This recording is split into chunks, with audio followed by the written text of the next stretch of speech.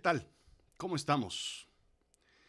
Qué bueno que te decidiste y te animaste a estar aquí un ratito. Vamos a estar platicando eh, poco tiempo, ¿eh? No te vayas tú a, creer que esto es algo sumamente largo, sumamente complejo, sumamente eh, complicado, pero lo que quiero es, este, pues, darte la bienvenida. En primer lugar, esta es otra emisión de The Room. Aquí está.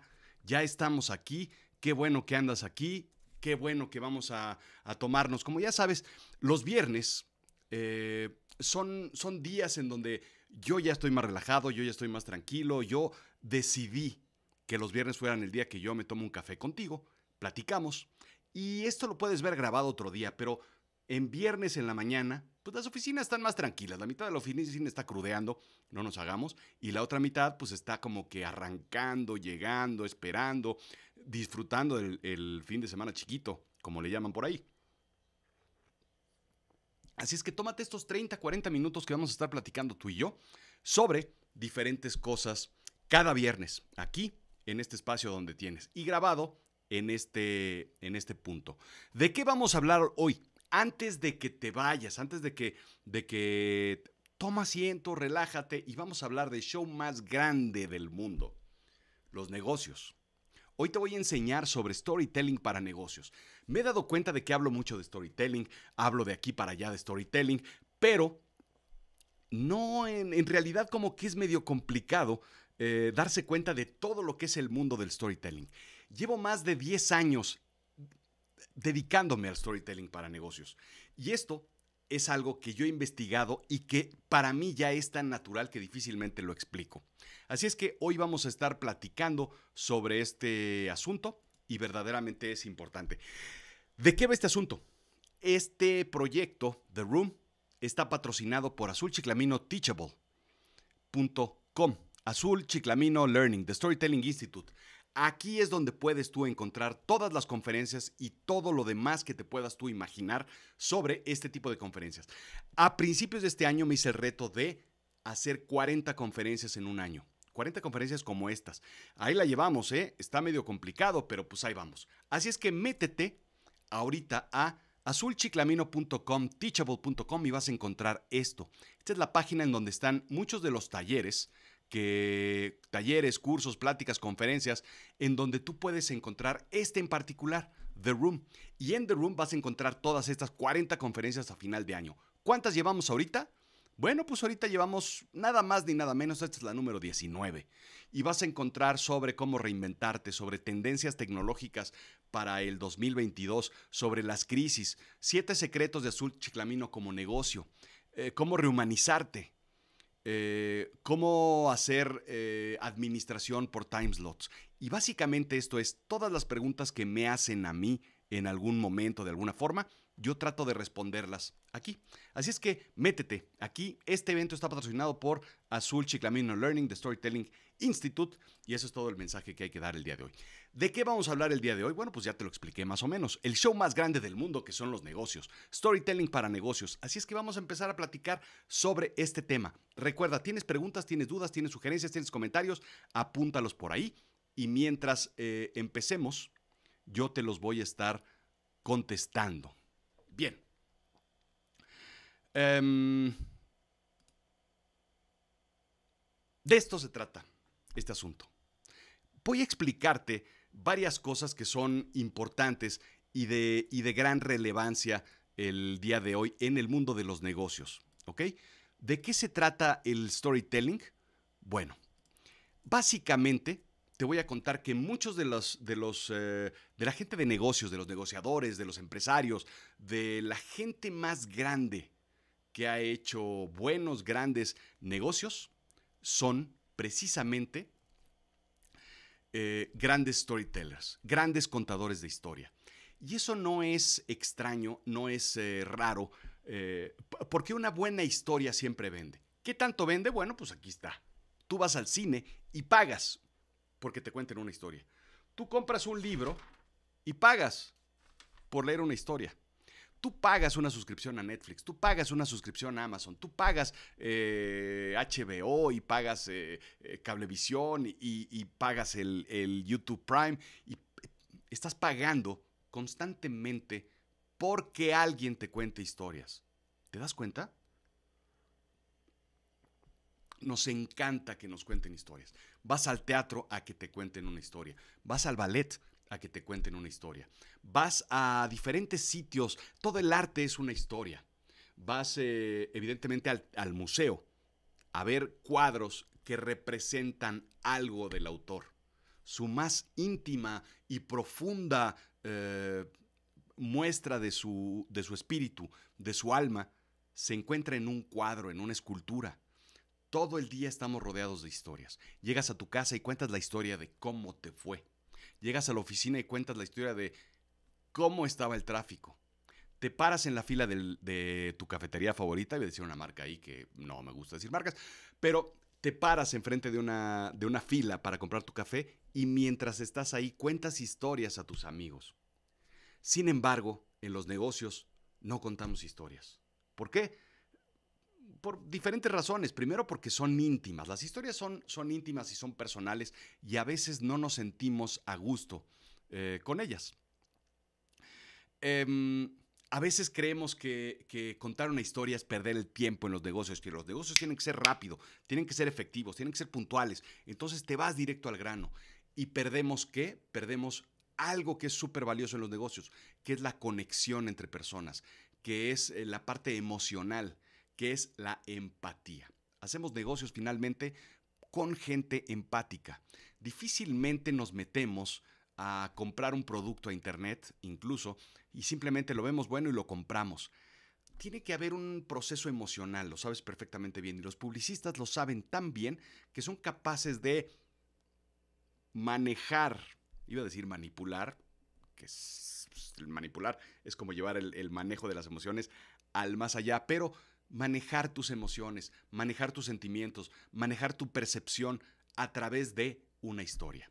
Así es que hay varias formas en las que vamos a estar platicando sobre este asunto. Te voy a contar una historia, pues ¿por qué? Pues porque yo soy un, storyteller y así funciona mi mundo.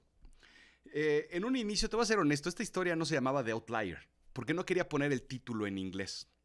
La historia se llamaba El Forastero. Se llamaba el forastero porque pretendía ser alguien que viene de fuera, alguien externo. ¿Recuerdas las películas de Clint Eastwood? Alguien que llegaba a un pueblo eh, vaquero, nadie lo conocía, había problemas en el pueblo, él lo resolvía y se iba. Un forastero como Rambo, la persona que llega de fuera y que nadie lo conoce. Eh, la verdad es que era una mala traducción de lo que yo quería decir en realidad. Outlier. Un outlier es un, dato, un número, una situación, algo atípico, algo raro, algo distinto, algo fuera de serie, algo que no está dentro de la norma, algo que está fuera del patrón típico. Y eso, en una palabra es difícil encontrar este, una traducción en español. Así es que lo, pongo así, el outlier. Y esto me pasó en, en alguna ocasión en un trabajo. Eh, cuando yo tomé la, dirección de análisis de datos en una organización de telecomunicaciones, la primera persona que contraté fue a un matemático. El, objetivo era precisamente tratar de cambiar toda la percepción que existía en esa compañía de telecomunicaciones. Eh, alguien me dijo, ¿por qué contratas a alguien con un perfil tan extraño, tan único, tan, tan raro? No va a encajar. Primero lo que me sucedió fue, esa persona no va a encajar dentro de la organización. Y me dijeron, aquí hay muchos eh, ingenieros. Si necesitas alguien que haga números, pues puedes encontrar un ingeniero. Y justo lo que dije fue, necesito a alguien que sea distinto. ¿Por qué? Precisamente por eso, porque todos somos ingenieros. Y todos somos ingenieros y todos pensamos de la misma forma. Y a la hora de resolver los problemas, los resolvemos todos de la misma forma y al cometer los errores cometemos todos los mismos errores de la misma forma.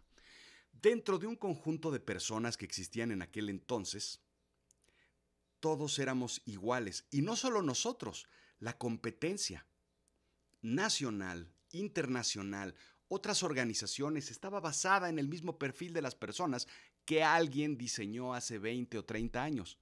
El ingeniero que es capaz de resolver todo tipo de problemas, planteándolos, traduciéndolos en procesos y resolviéndolos a través de modelos específicos. Todos éramos tan iguales que difícilmente podíamos resolver las cosas. Lo que necesitábamos era un outlier, de los que somos alguien que pensara distinto.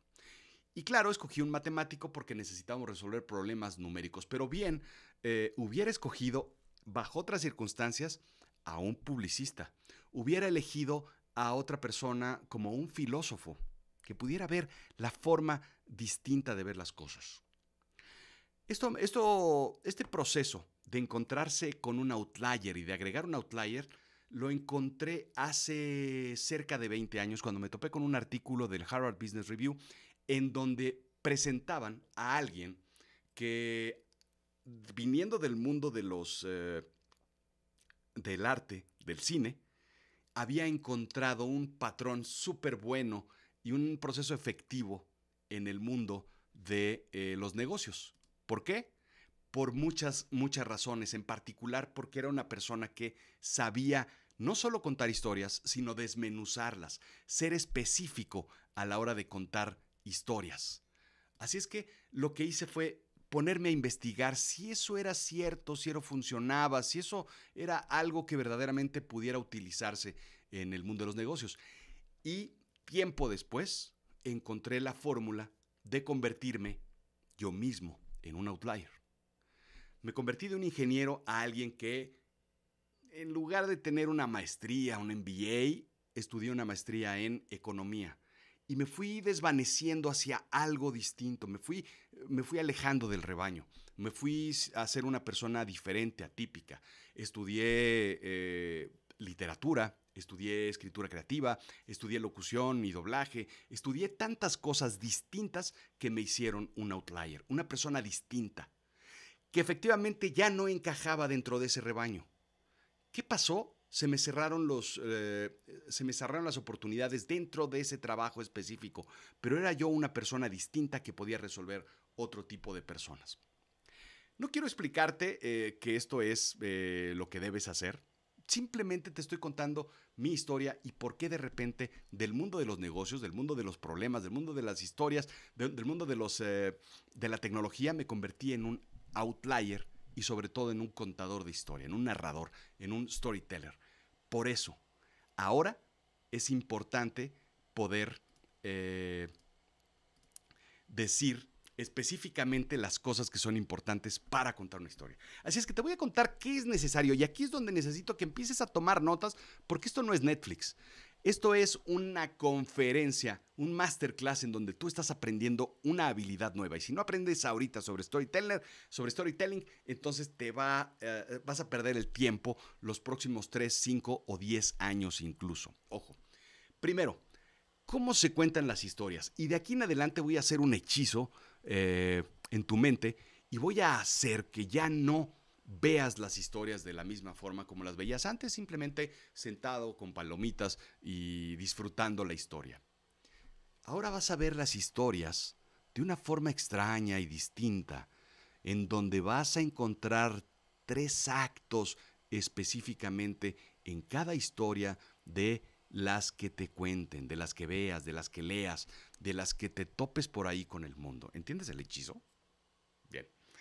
Esos tres actos son los antecedentes, el nudo y la resolución.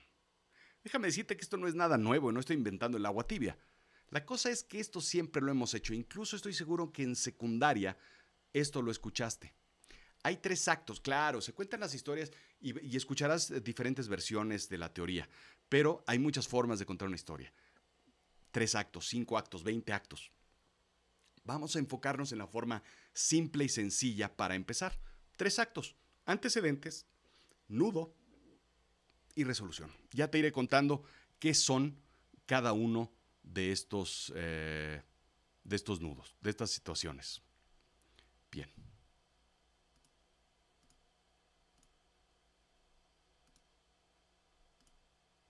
Antecedentes. Ahora sí. Tuvimos un problema aquí con la presentación. Perfecto. Antecedentes. Esta es la primera parte de cualquier historia. Esto es cuando te dicen el quién, el cuándo y el dónde. Así de sencillo, así de simple. Toda historia, para que tú entiendas, debe tener un contexto, unos antecedentes, una situación, un dónde coloco la historia, a quién coloco en la historia, ¿Cuándo la coloco? Siempre lo explico de una forma muy simple y muy sencilla. Era por ahí del año 1600, porque no está especificado claramente, era el año 1600, en una pequeña ciudad, un pueblo pequeño de Italia llamado Varona, en donde dos familias se encontraban en conflicto desde hacía varias generaciones. ¿Quién? ¿Cuándo? ¿Y dónde? ¿Cómo era la situación antes? Dos familias que siempre estaban en conflicto. Toda situación, toda problemática, todo ejercicio de una historia tiene antecedentes, lo que sucedía cuando la historia inició. ¿Qué pasa después de este, de este proceso? Bueno, vas a desarrollar algo que se llama el nudo. El nudo, esto es probablemente la mayor, la mejor, la, la mejor lección que vas a encontrar el día de hoy. El nudo es lo que rompe la normalidad de la historia. ¿Qué significa esto? Significa que todo era normal en el antecedente hasta que hubo un suceso que rompió esa normalidad. Cuando esa normalidad se rompe, entonces ya no sabemos qué va a pasar. Estas dos familias antagónicas vivían bien, se peleaban, pero era la normalidad. Vivían en un sitio, llevaban varios, eh, varias generaciones molestas, peleándose, estructurándose, pero, pero vivían así, hasta que sucedió algo en particular. Un joven y una chica de las familias antagónicas se enamoran. El nudo es no que se peleen, no que haya sido 1600, no que haya sido Italia. Era que dos jóvenes de las familias antagónicas se conocen y se enamoran. ¿Me sigues? Algo rompe la normalidad de la historia y de los personajes.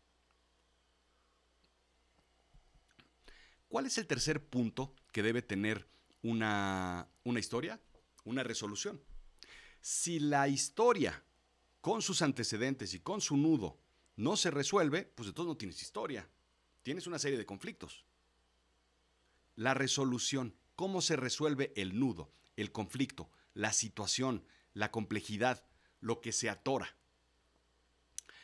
Tienes tú que resolverlo de una u otra forma. ¿Me entiendes? Entonces tienes tres actos. Tienes tres actos que es el antecedente, el, nudo, que es la complejidad, la situación, la normalidad, la anormalidad, quiero decir, y después la resolución, que es lo que restablece una nueva normalidad, porque difícilmente vamos a resolver la normalidad. ¿Por qué te estoy contando todo esto? ¿Por qué te estoy platicando yo? Bueno, spoiler alert, resolución de esta historia que te conté. Bueno, pues todos se suicidan y, todos están tristes y hay ahí como una moraleja en donde pues, pues no hay que pelearse y cosas de ese tipo, pero finalmente este, pues todos se mueren. ¿Por qué te estoy contando sobre literatura cuando tú lo que quieres escuchar es de negocios? Por una situación muy simple, muy sencilla. Todo lo que estamos haciendo hoy en día son historias tú vas a vender historias, tú vas a vender storytelling, tú te vas a convertir de alguna forma de un businessman, de un businesswoman, de una persona de negocios, en un storyteller, en un narrador, en un contador de historias, en un juglar si quieres y tocas la guitarra o la, este, o la bandurria o otro tipo de instrumentos este, medievales. Pero lo que quiero decirte es que vas a contar historias y a la hora de contar historias tú vas a generar cosas súper, súper importantes e interesantes. Uno, vas a generar recordación. Te voy a decir, ¿cuál fue la última presentación en PowerPoint que te hicieron? ¿Y qué es lo que recuerdas de ella?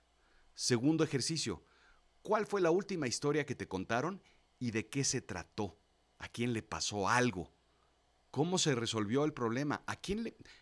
Cuéntame una historia o cuéntame una presentación de PowerPoint que te hayan hecho. Estoy seguro que vas a recordar antes la historia. ¿Por qué? Porque el cerebro está diseñado específicamente para recordar historias. El cerebro está cableado de una forma muy particular en donde recordamos eso y no necesariamente recordamos facts, eh, cosas, features, functions. No recordamos ese tipo de cosas, recordamos las historias y eso nos hace distintos y nos hace humanos. Nos relacionamos a través de las historias. ¿sí? Segundo, vas a tener más atención. ¿Qué tanta atención vas, a tener? Estoy seguro que este, este video que estás viendo ahorita tiene una alta retención, cosa que yo puedo medir a través de todos los modelos matemáticos que existen en todas las redes sociales. Yo puedo saber cuándo entraste y cuándo saliste. Y es bien importante darse cuenta de que la retención a la hora de contar una historia es mucho más grande que en una PowerPoint completamente aburrido, gris, que están pasando láminas y que las están leyendo. Así es que las historias tienen recordación, generan atención y después entretienen. Incluso una historia de negocios entretiene. Las historias de negocio, si tienen, si están bien contadas, son parte del entretenimiento. ¿Qué tanto es así? Déjame contarte algo que es fantástico. Uno de los canales de mayor audiencia hoy en día en YouTube son los TED Talks. Y no hay historia más aburrida que lo que se cuenta ahí. Sin embargo, encontraron la forma, el modelo para hacer de esas historias aburridas sobre ciencia, sobre células, sobre este, viajes al espacio aburridos, sobre investigaciones, sobre negocios tristes, aburridos, complicados, historias de finanzas y de contabilidad, hacerlas de una forma de entretenimiento. Y la gente va a un escenario a escuchar a un científico ganador de un premio Nobel. ¿Te das cuenta? Vas a escuchar a, a un auditorio, a una persona que es tan inteligente, pero que cuenta la historia a través de un storytelling, con un antecedente, con un nudo y con una resolución. Y entonces la cosa cambia por completo. Siempre lo digo, una de las clases que más me gustaba de chiquillo, de joven, era historia, pero con un buen maestro cuando te contaba la historia sobre eh, la historia universal, la historia de México, la historia de tu país, la historia, pero contada de una forma épica. Y cuando tienes un nudo en la historia, una situación, un problema, un antecedente y una resolución, entonces la historia, la historia es fantástica. El problema es que cuando tenemos maestros malos, nos cuentan historias aburridas. Nos cuentan facts, nos cuentan situaciones, nos cuentan cosas tan mecanizadas porque los maestros tienen 40 años contando la misma clase y entonces pierden la atención. ¿Me sigues? Perfecto. Así es que, eh, ¿por, qué, ¿por qué es importante contar estas historias? Porque está perfectamente bien probado que hay exitosos storytellers en el mundo de los negocios. No te voy a contar que Steve Jobs es un magnífico contador de historias, fue un magnífico contador de historias. Tan es así que sus presentaciones de productos están disponibles en YouTube y la gente las ve. Las vemos. No sé si has visto alguna vez cuando presenta el iPhone, cuando presenta el iPod, cuando presenta la Mac, cuando, presenta, cuando presentaba sus productos, era verdaderamente digno de verse porque era un gran contador de historias. Y ojo, jamás usaba un PowerPoint. Si acaso usaba PowerPoint para ilustrar, para mostrar, para cierta idea simple y sencilla. Por eso estas presentaciones no tienen PowerPoint, simplemente tienen ideas que me ayudan a mí a pues, tener una continuidad y a ti a no perderte del capítulo de la historia en donde estamos metidos y platicando, pero no me verás presentar PowerPoints, porque los PowerPoints son aburridos, porque los PowerPoints son un PowerPoint lo hace cualquiera. Yo puedo desarrollar un PowerPoint y cualquiera puede presentar esa historia. Y eso lo hace completamente sin chiste. Contar una historia, eso es lo interesante y lo eh, atractivo. ¿Qué tan importante era Steve Jobs para contar historias? Bueno, pues su vida es una historia. Tan es así que varias películas se han hecho con respecto a una persona de negocios, a un businessman. Tiene tres o cuatro, cinco, no sé cuántas películas. Yo he visto al menos tres o cuatro. Su libro de su biografía es fantástico. Si no has leído, es un tabique de este tamaño, pero es fantástico porque es una historia súper interesante. Los grandes contadores de historia son exitosos gentes de negocio. Branson, es un excelente contador de historias. Si sabes quién es, el dueño, director, CEO, stakeholder de Virgin, es un gran contador de historias. Genera cierta empatía y cierto repele porque, porque los personajes son así. Los personajes hoy en día ya no son eh, atractivos al 100%. Tienen que tener obscuridades y tienen que tener monstruos internos, pero contar historias con estos personajes es fantástico. Oprah Winfrey, creo que no hay mejor contadora de historia que ella. Disney, Disney, el señor Walt, no la compañía. El señor Walt es un gran, fue un gran contador de historias. Tan es así que hoy en día sigue siendo una, eh, una médula dentro de la organización y de la empresa, contar historias, contar magia, contar, eh, hacer mundos fantásticos, crear un sitio. Imagínate qué tan buen contador de historias era que creó un universo propio, un reino donde él vivía, un reino donde las reglas son completamente distintas y la magia existe, así de grande. Y una especie de opuesto es uno de mis favoritos, Tim Burton. Tim Burton es un gran contador de historias, porque puede tomar una historia, un libro, un guion, la historia de alguien más, pero contarla de una forma distinta. Guillermo del Toro, Stephen King están dentro de los grandes contadores de historia. Y ojo, ¿por qué los puse al final a todos ellos?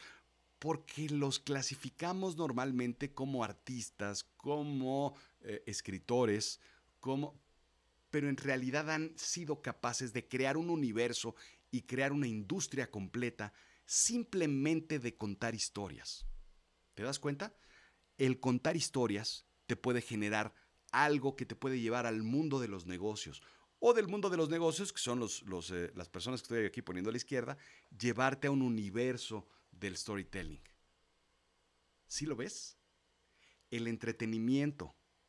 Burton, Disney, Winfrey. Winfrey está justo en medio. Oprah Winfrey. Pero Guillermo del Toro, que te conté, Stephen King, el mundo del entretenimiento se empieza a trasladar al mundo de los negocios. Oprah Winfrey es, yo creo que hoy en día más una empresaria que una entretenedora. Y sin embargo, trabaja en la televisión, pero tiene un emporio brutalmente gigantesco que logró desarrollar a través de contar historias y de llevarlas al mundo de los negocios. ¿Lo ves? Y después Jobs, Branson, quien quieras. Quien quiera que ser, ser un buen empresario, tiene que saber poder contar una historia. Bien. Lo que quiero decirte es, eh, básicamente, eh, debes convertirte en una persona distinta en tu organización, en tu emprendimiento, ya sea una empresa grande, chica, mediana, familiar, en tu emprendimiento personal o en la empresa, tienes que aprender a contar historias. ¿Para qué? para tener la atención específica de lo que son los clientes, socios de negocio, eh, inversionistas. Todas esas personas necesitan generar un proceso empático y la empatía solamente se llega a través de contar historias. No lo vas a generar a través de un PowerPoint no lo vas a generar a través de un proceso. ¿Cómo, cómo, ¿Cuáles son los trucos que se utilizan dentro de la literatura eh, y que pueden ser útiles dentro del mundo de los negocios? Bueno, contar una historia en tres actos, ya te lo dije. Y ahorita te voy a dar unas recomendaciones. Pero hay ciertos recursos que son sumamente interesantes. Primero, tienes que tener a los personajes bien claros y bien específicos. Cuando tú cuentes tu historia, es muy probable que tú lo hagas personal y tú seas el personaje principal. Tienes que describir bien quién eres, cómo son tus personajes, qué estaba sucediendo a tu alrededor, la escenografía o la escena. Tienes que poner la escena y decir, estaba sucediendo esto, cuándo, dónde, aquí, cómo, cuándo. ¿Sí? Generar tensión. Cuando hay un nudo es porque algo se rompe y entonces tienes que generar esa tensión. No sabíamos qué hacer. Se cayeron las ventas. Se complicó la operación la máquina de producción principal de la fábrica tronó. Hicimos una inversión que no sabíamos cómo iba a suceder.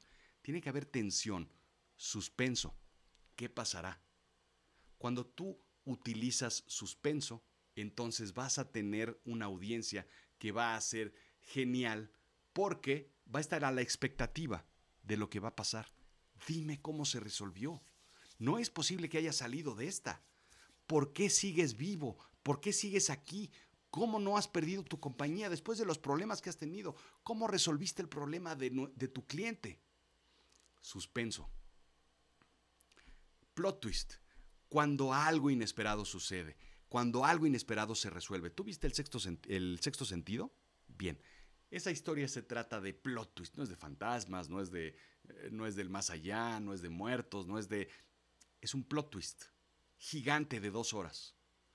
Cuando te engañan en un plot twist, entonces uno se siente aliviado porque nos gusta, nos encanta que nos engañen dentro de las historias. No hay nada más aburrido que anticipar. Ya sabía que iba a suceder eso. Y finalmente, cliffhangers. Cuando tú haces un cliffhanger es cuando la historia está por terminar, pero se queda en lo veremos la próxima semana. ¿Recuerdas el viejo Batman? Esto lo resolveremos en la próxima semana en el mismo Vaticanal.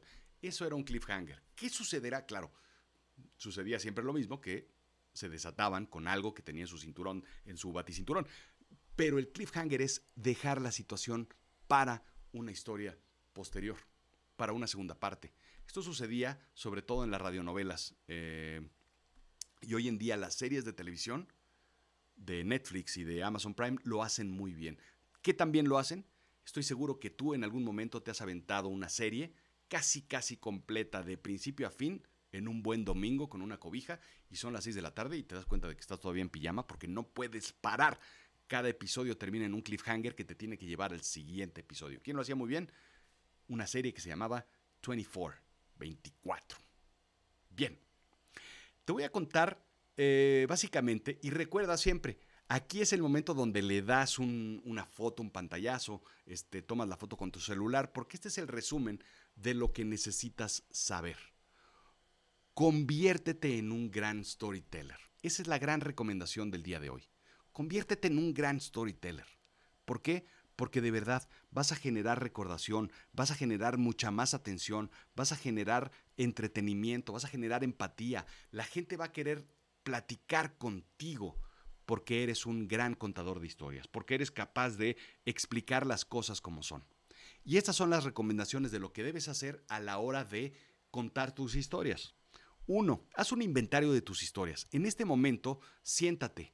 Siéntate y haz un inventario de tus historias. Historias de negocio, historias, ojo, historias que te salgan bien e historias que te salgan mal. No sabes cómo funcionan los fuck up nights, las historias que, que rompen con el éxito. Eso muestra a ciertas personas que seamos vulnerables, humanas y no perfectos. Así es que haz un inventario de tus historias. Historias buenas, historias que han sido interesantes, atractivas. Haz una lista de 3, 4, 5 historias, 10 historias para que tú tengas a la disposición. Segundo, planea tus historias y escríbelas. Todas las historias que te estoy contando yo en esta serie, en The Room, no son historias que se me están ocurriendo en este momento. Evidentemente tienen una planeación donde yo estoy escribiéndolas. Hago un inventario de mis historias y las escribo. Hago un guion. Hago literalmente un guion de lo que sucedió, de lo, de lo que pasa, de cómo sucedieron los hechos. Y después subrayo los puntos importantes a esta situación. Entonces, haz un inventario y después planea y escribe tus historias. Tercero, haz tus historias personales, reales y honestas. No hay nada peor que contar una historia falsa. No hay nada peor en los negocios que contar una historia que no sea real. Una historia que no te haya sucedido. Una historia que no, que no hayas estado cercano a ella. ¿Sí? Las historias tienen que ser reales, personales y sobre todo, ¿qué más dije? Honestas. Es muy fácil darse cuenta de una historia que no es real o que no es honesta. Y entonces vas a perder toda la confianza y toda la empatía que has estado generando con tus historias.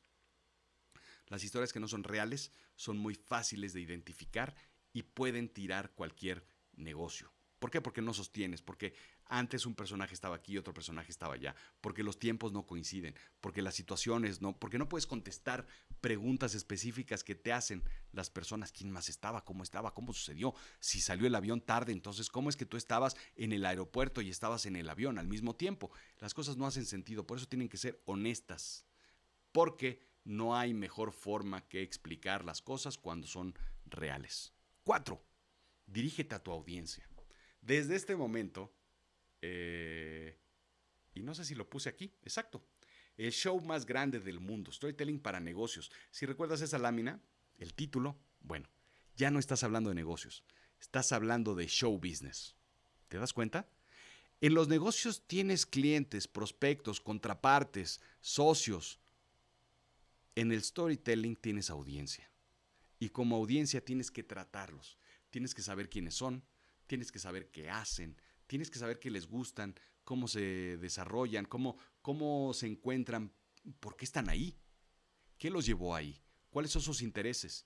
Tú tienes que entender a tu audiencia, no a tu prospecto, no a tu cliente. Tienes que entender a tu audiencia y entonces hablarle a tu audiencia en específico. Y tienes que entender quién es tu audiencia y no hablarle a todos. El que le habla a todos le habla a nadie. Es una de las máximas de el storytelling. Cinco, define tus tres actos. Pero tienes que sostener tu historia en el nudo. Lo más importante de tu historia es el nudo, el conflicto, lo que rompió la normalidad de la historia o del antecedente y de tus personajes. Es decir, todo lo que tienes en tu negocio lo haces y existe para resolver un problema. ¿Estás de acuerdo? Un problema personal, un problema de negocios, un problema de flujo, un problema de operación, un problema de ventas. Estamos así de problemas. ¿Y cuál es la situación? Que nosotros no sabemos resolverlos todos. Por lo tanto, no sabemos si no podemos. Por lo tanto, necesitamos a alguien que nos ayude a resolver esos problemas. Y entonces ponemos un negocio y entonces ponemos una línea telefónica y esperamos a que nos llamen, como se hacía antiguamente. Si tú logras identificar cuáles son los problemas que resuelves y logras identificar cuáles son los problemas que existen en el mercado, esos son los nudos de una historia. El nudo es lo que rompe la normalidad de tus clientes. Y te voy a poner el mejor ejemplo. Todo iba bien en una organización hasta que tuvimos un problema de cobranza. Yo cobraba, cobraba, cobraba, cobraba hasta que hubo un problema de cobranza y mis ingresos se fueron a cero. Mis ventas seguían altas, pero mis ingresos no. Por lo tanto, el nudo es el problema de cobranza. ¿Cuál es la resolución? Contratar un despacho de cobranza, qué sé yo. Cobrar más anticipos, no hacer entregas totales. La resolución resuelve la cobranza para, para llegar a la nueva normalidad o a la normalidad anterior, que era unas finanzas saludables. ¿Cuál es el problema que tú resuelves? Ese es el nudo y ese es el conflicto. Seis, practícala. Performance. Practica tus historias. ¿Sí? No, la no, no, no, no vas a decir, ah, hoy voy a contar la historia en donde me tropecé y caí. Ok, escríbela. Y ya que la escribiste, dices, bueno, mañana la cuento. No, no, no, no, no. Tienes que eh, practicarla. Tienes que hacer un performance al día siguiente. ¿Tú crees que un actor se sube al escenario en una obra de teatro después de leer el guion o de escribir su guion? Lo practica una, cinco, veinte, 50 veces, se lo aprende de memoria. Tienes que practicar tus historias. ¿Por qué? Porque eres un performer. Ya no eres un hombre de negocios que es hábil para las palabras, que es hábil para contar historias, que es hábil para cerrar negocios. Tienes que ser hábil, pero sobre todo para el performance. Tú piensa si George Clooney, si este si Chattanooga se, se metían así nada más a decir cosas practicaban, practicaban y practicaban en el escenario, en sus casas, con el guion, sin el guion, con el audio. Un buen eh, actor hace mil veces su papel antes de la obra final.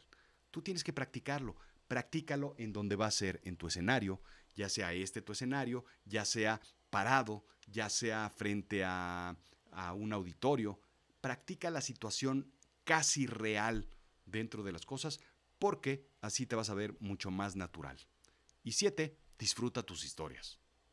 Las historias tienen que ser divertidas, tienen que ser entretenidas. Contar una historia debe ser delicioso, debe ser a gusto, tranquilo, emocionante, debe, debe traerte cosas de valor, debe ser fantástico.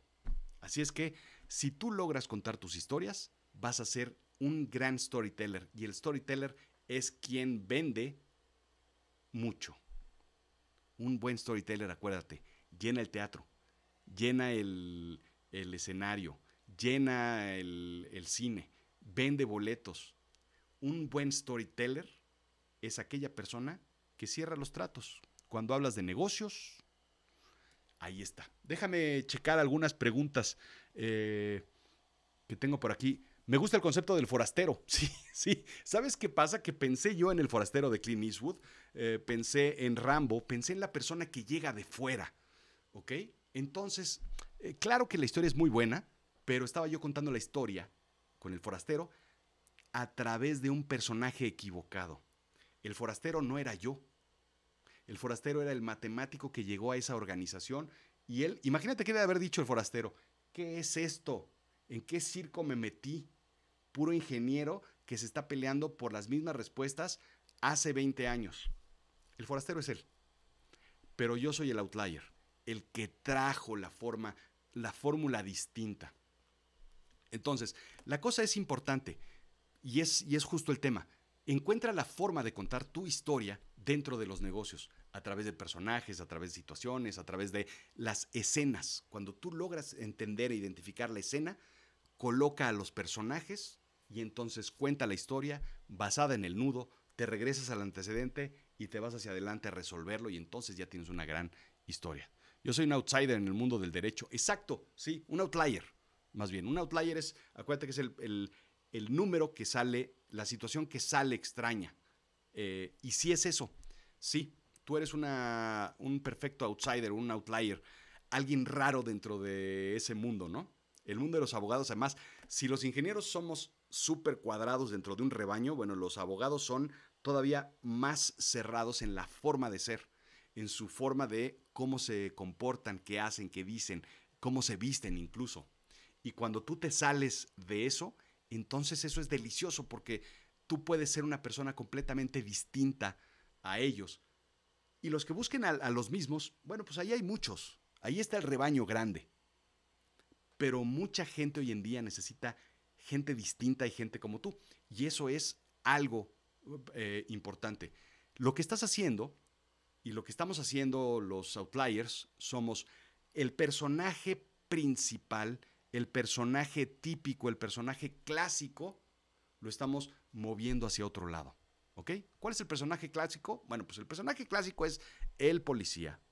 De las historias me refiero, de las películas, los libros. El policía, que es un tipo malo, que es un tipo duro, que no le duelen los golpes, que le dan un balazo en el brazo y puede seguir andando. El tipo que este, fuma.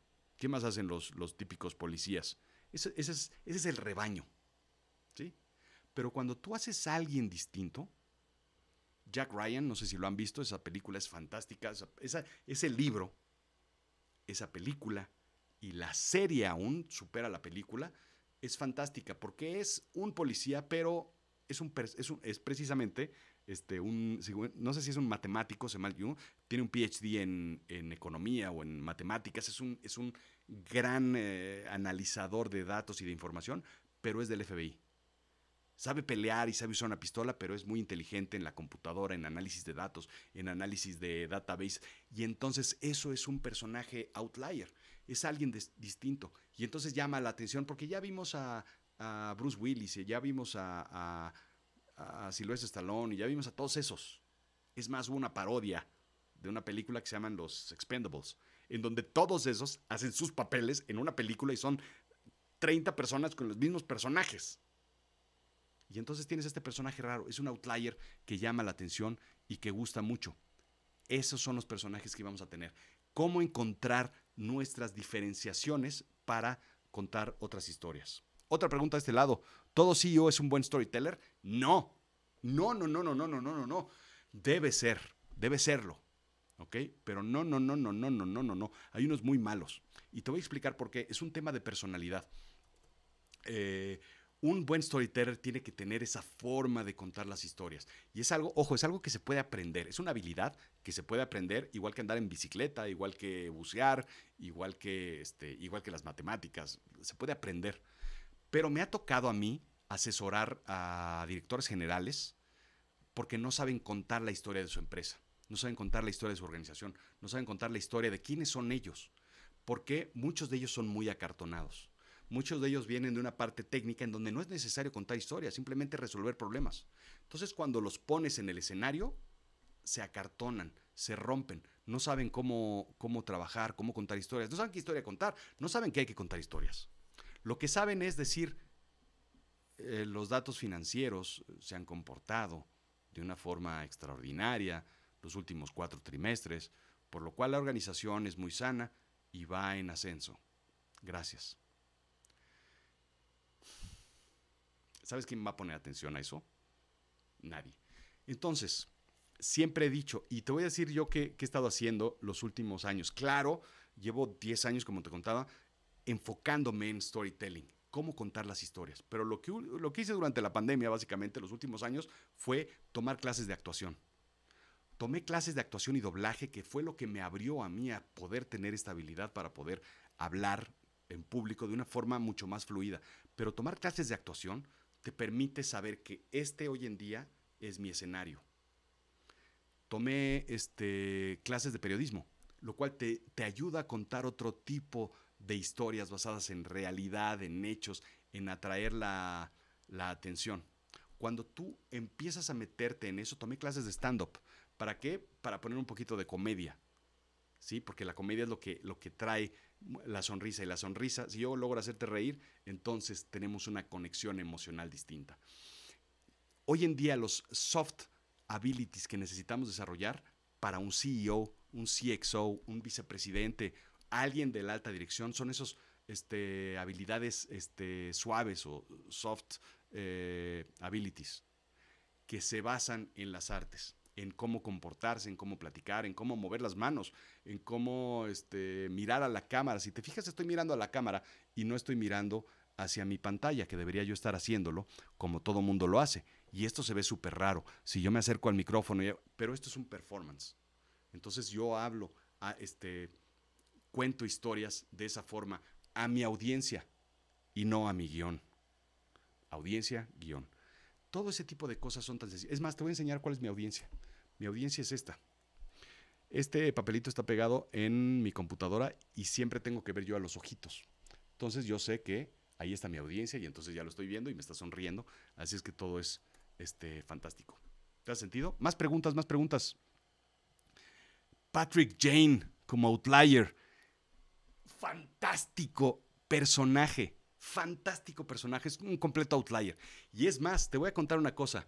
Pronto te voy a explicar cómo funciona ese proceso de los, de los mentalistas, porque es algo que dentro del performance tienes que desarrollar. La habilidad, y no sé si recuerdas, eh, Alberto, no sé si recuerdas que él genera, él recuerda las cosas a través de algo que denomina palacios mentales. Ya te explicaré qué son en otra edición de este, The Room, porque es un proceso fantástico. Y dije, no puede ser, no puede funcionar eso. Yo tengo muy mala memoria. Pero cuando creas un palacio mental como Patrick Jane, es fantástico. Eh, otro outlier increíble que a mí me encanta y me fascina, es un personaje un poco bueno malo, un poco oscuro, es este. Vaya. Se me fue. Ahorita, ahorita me acuerdo, pero muchos personajes así. Habilidades blandas en español. Exacto. Exactamente. Eso es lo que, lo que quería decir. Gracias. Eh, las habilidades blandas son lo, más importante hoy en día. Si un director, un ejecutivo, es más, la gente joven que está ahorita saliendo de la universidad, claro, estudien su maestría, sigan haciéndose más grandes, pero tienen que desarrollar habilidades blandas, como dicen por aquí, que son súper importantes. Y es esta, el storytelling es una habilidad blanda, eh, la actuación es súper importante, el performance es importante, el stand-up es fantástico, de verdad, métanse un curso de stand-up, este, si no saben dónde, yo les puedo recomendar con quién, métanse un curso de stand-up, actuación, si se fijan bien, los grandes performance este, son, los que, son los que tienen una habilidad de llenar el escenario ellos solos. Así es que eso es lo que, lo que corresponde. Este, me estoy, estoy tratando de acordarme del personaje que te quiero yo este, contar, porque además es este, de mis favoritos. En fin, eh, ya lo pondré por aquí si no me acuerdo ahorita. Más preguntas, más dudas, más recomendaciones. Cuéntenme, explíquenme de qué va este asunto. Si les sirve, Entonces, piensen en esto, tómenle esta fotografía ahorita, ahorita es el momento del pantallazo, el momento de todo, y eh, ya estamos listos para casi, casi, casi cerrar. Simplemente lo que les quiero recordar nuevamente es esto. Métanse a azulchiclamino.teachable.com. Ahí están todas estas conferencias, todas las conferencias anteriores que se perdieron, ahí están. Aquí está su instructor, quién soy yo, y aquí están todas las conferencias. Hay varias conferencias aquí que están abiertas para que las vean gratis, pero sobre todo son muy, muy, muy sencillas este, para desarrollar y para entender y para comprender lo que es el mundo. Y hay muchas otras. Aquí está, es bien, además, fíjense, ahí está, super vara. Y si tú ya lo estás viendo en, en The Room, bueno, pues qué bueno que, que ya estás en este proceso. Muchas gracias, muchas gracias por estar aquí. Ya nos veremos. Este, ya nos veremos en otra ocasión. El próximo viernes vamos a platicar de otras cosas y, y, y no se les olvide, este, Dexter. Eso. Oh, por fin, Dexter. Si no has visto Dexter, la serie, si no has leído el libro Dexter, es un personaje fantástico porque tiene súper claro oscuros muy, muy bueno. Es un personaje, este, es un policía bueno, pero es un malhechor de lo peor. Y además, este, encanta, fascina y este, nos gusta mucho. Es, es un muy buen personaje. Así es que bueno, ahí está.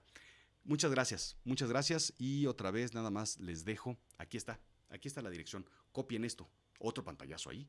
Esto vale la pena. Y nos vemos el próximo viernes para platicar sobre otra cosa fantástica e interesante. Gracias.